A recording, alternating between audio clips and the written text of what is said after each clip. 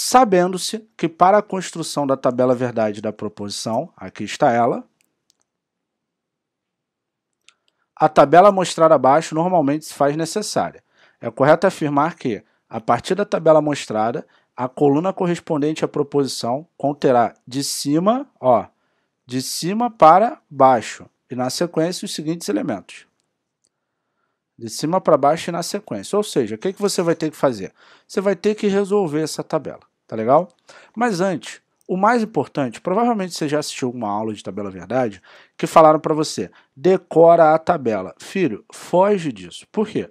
Na real, você tem que saber a tabuada, o que cada um faz. Aqui, eu vou botar a tabuada do OU, que é esse símbolo aqui. Vou botar do E também, né? Tem do E, vou botar na ordem. Vou botar aqui a tabuada do E, a tabuada do OU, que é esse símbolo, e a tabuada do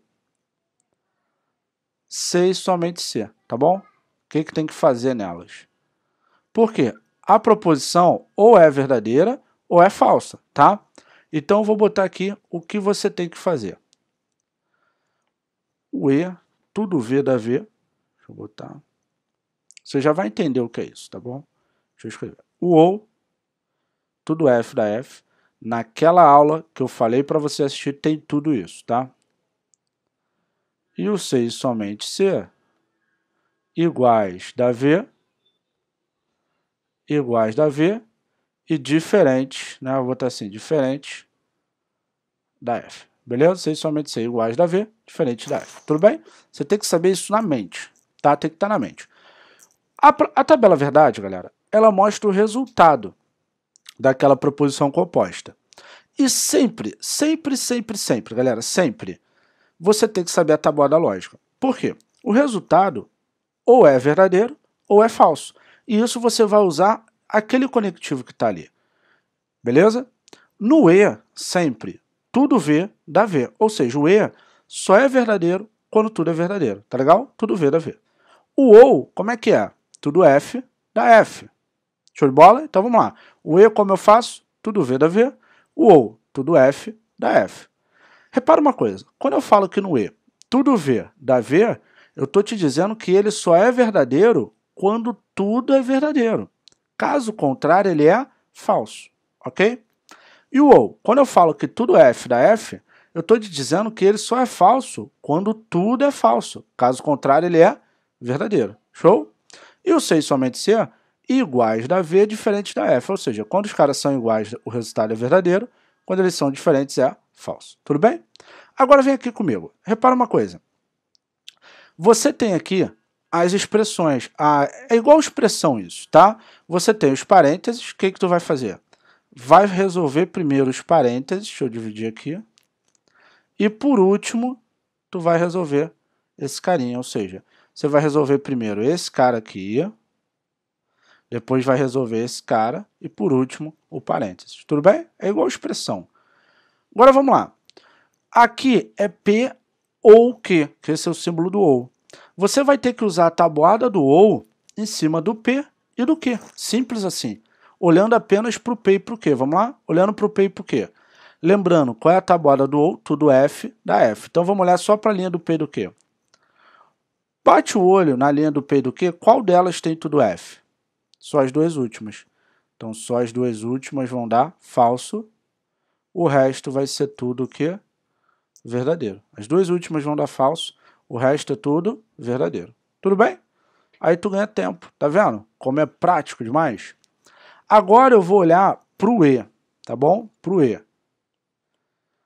Aqui é Q e R, então eu tenho que olhar para o Q e para o R. Usando a tabuada do E. Como é que é a tabuada do E? Tudo V dá V.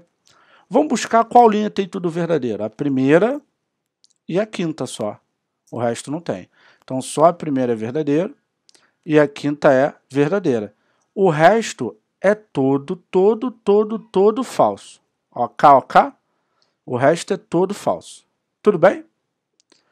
Agora que eu fiz esses dois, o que, que eu vou fazer? Vou resolver. Só que agora, galera, eu tenho que olhar o símbolo aqui que é o 6 somente C e usar a tabuada dele. Qual é a tabuada do 6 somente C? Iguais da V, diferente da F. Vamos ver onde tem iguais, ó. Iguais, vamos marcar onde tem iguais. Onde tem mais iguais? Iguais, iguais, iguais, correto? Ou seja, aqui é verdadeiro, aqui é verdadeiro, aqui é verdadeiro e aqui é verdadeiro também. Show? O resto é falso. Pronto, essa é a tabela correta. Agora que eu tenho a tabela correta, eu vou olhar para o que ele falou, que ele falou que é de cima para baixo. Primeiro verdadeiro, ok. Segundo falso, terceiro falso, quarto falso, tá ok. Quinto verdadeiro, sexto falso, tá ok. Só que agora ele botou que era falso e falso, só que é verdadeiro. Então, nosso item está errado. Nosso item está errado, porque não vai ser desse jeito. Show de bola? Opa, gostou dessa dica? Então, se você quer acertar 80% ou mais na prova de raciocínio lógico da INSS, então você precisa vir para o grupo dos 5% no nosso curso para o INSS. Tá aqui o link na descrição para você fazer a sua matrícula e chegar ao seu próximo nível no raciocínio lógico gabaritano e usando a seu favor. Você sabia que 95% dos estudantes saem do ensino médio sem um conhecimento adequado? E apenas 5% têm esse conhecimento adequado. Logo, são esses que passam no concurso. Então, se tu quer passar no concurso, você precisa usar o raciocínio lógico a seu favor. Então, ó, já clica aqui na descrição e faça sua matrícula no nosso curso do INSS e venha para o grupo dos 5%, o grupo de alunos que estão acertando 80% ou mais em qualquer prova de concurso utilizando o método MPP para gabaritar. Tamo junto, para cima deles e vejo vocês nas aulas do curso. Até lá!